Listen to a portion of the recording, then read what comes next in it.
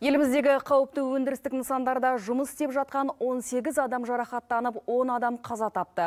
Бұл 2019 жылдың 9 айының көрсеткіші. Барлығы 24 апат тіркеліп, адам өлімі 1,7 есеге өскен.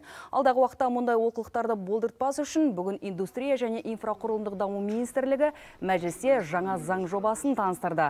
Қазір елімізде жұмыс істеп жатқан кәсіпорындардың 8 мыңы қауіпті саналады. Ол жерлердегі оқыс оқиғалардың көпшілігі тозығы жеткен салдарынан қауіпсіздік техникасының сақталмауынан және қызметкерлердің біліктілігі төмендігінен болып отыр. Жаңа құжатта осылардың барлығы ретке келтіріліп, бақылау күшейтілмек. Енді мәжіліс депутаттары заң жобаны жан-жақты зерттеп, ұсыныстар мен толықтырулар енгізуі ықтимал. Заң жобасы қабылданған жағдайда мынадай оң құқықтық және әлеуметтік экономикалық салдарлар болжанады.